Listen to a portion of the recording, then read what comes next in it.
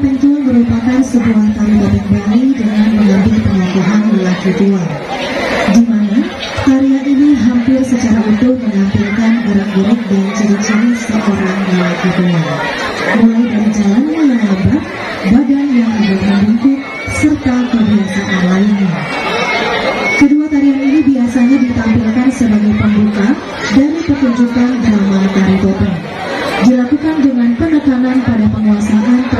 jalinan wiraga dan wirama